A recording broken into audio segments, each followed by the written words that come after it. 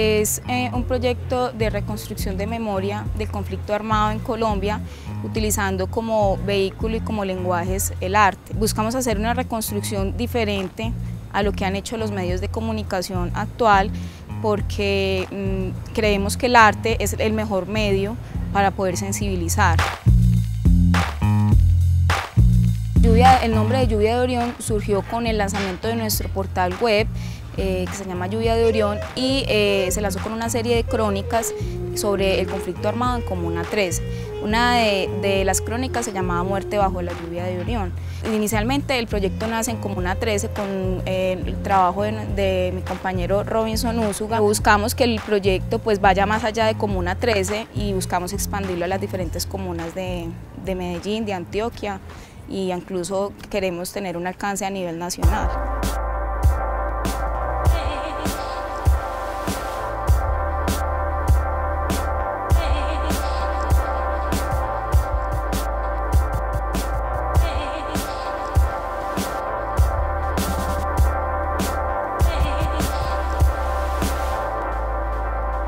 Lluvia de Orión eh, tiene tres momentos. El primer momento fue el de las vivencias del conflicto armado, porque yo he vivido la mayor parte de mi vida en el territorio de la Comuna 3 y tuve que vivir la guerra que se presentó allí en los años 2001 y 2002. Mi trabajo de grado de la carrera de periodismo fue escogido precisamente a raíz de ese tema. Entonces, hago una serie de crónicas durante un par de años investigo en el territorio, hago unas visitas un poco clandestinas por la situación de inseguridad que aún gobernaba en la zona.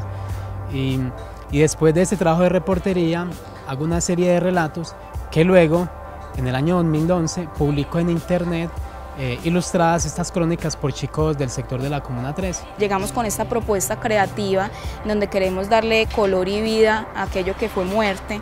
Eh, la gente, pues incluso los empresarios les gusta mucho.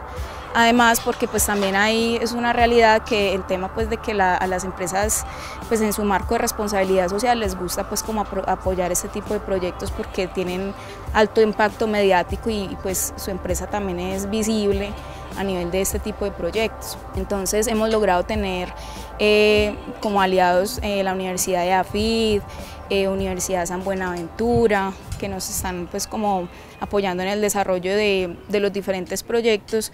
E incluso el Centro Comercial Monterrey se ofreció también para proporcionarnos su espacio.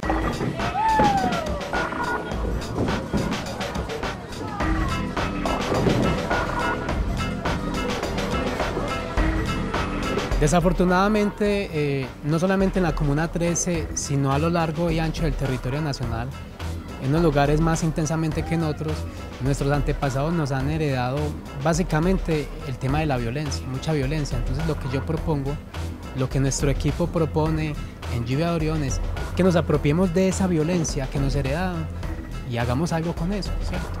Que, juguemos con eso, que lo recreemos, que hagámoslo un material que nos permita superar esa situación de conflicto armado.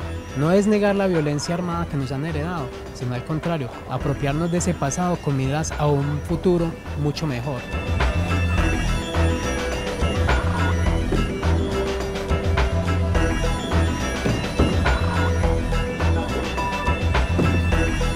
Inicialmente es necesario aclarar que Lluvia Orión no está dirigido eh, absolutamente a trabajar con las víctimas del conflicto armado, las víctimas directas, sino que quiere trabajar con toda la, población en general, ¿cierto?